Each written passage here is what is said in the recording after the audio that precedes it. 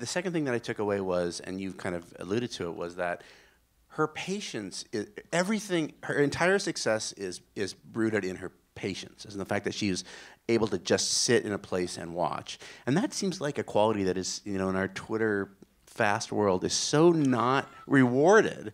And I feel like, um, I don't know what I feel like. You gave me a great idea to create a fake Jane Twitter feed for being in Gombe in 1962. Nothing happened. Yeah, nothing- Nothing happened. I'm Nothing sitting here waiting. Uh, that was, I have to tell you, something about Jane. My favorite part as a filmmaker in her story was the portion when she didn't see any chimpanzees. Right.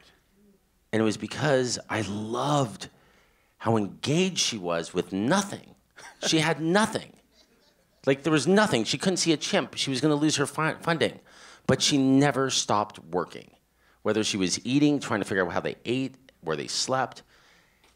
And to me that was it. That defined it. That was that was that thing that she had, that passion. That that quest for knowledge. It, and you know, to me, that's really the, what the film is about. It's about passion, and it's not just hers, but Hugo's. And it, it, I think of this as a love story, but not in the traditional sense. It's not a love story between a man and a woman. It's a love story between a woman and her vocation, and a man and his vocation.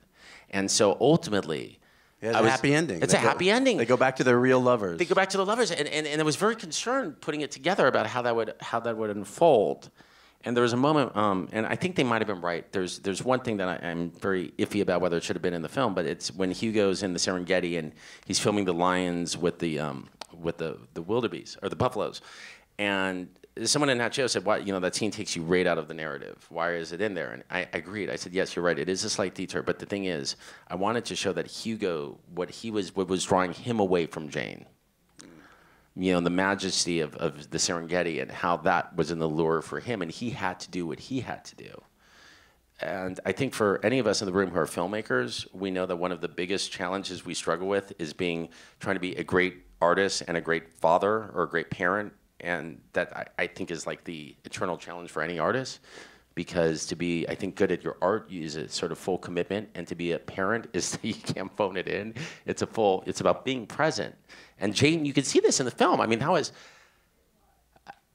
you, you know, it's it's interesting because she's. I, I was so shocked when she brought He Grubbed at six years old. I was like, oh my God, what is she? do? You know, but uh, it's it. The thing about Jane, and the thing I love about Jane, and the thing I love about Jane working with her on this film is, again, I didn't.